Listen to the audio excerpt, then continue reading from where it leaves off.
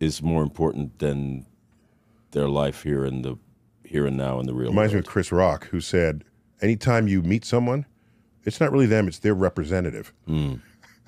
It's the person they want you to think, think they, they are. are.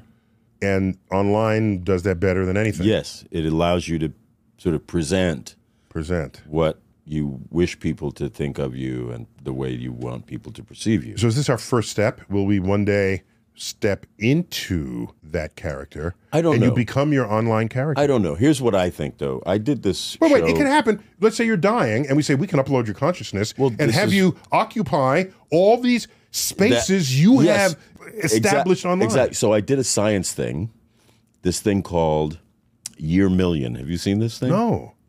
All right. So Year million. yeah, it's a limited series. It was about four episodes, and it's all about the singularity. You've heard of the of course, singularity. so it's the hypothesis is the singularity, and when that's going to happen, and when it all becomes sentient, and when, and ultimately, what will happen is we will evolve to this point where we integrate with the technology. Okay. And that thing you just described about being able to upload your mm-hmm. consciousness mm-hmm. right. into a matrix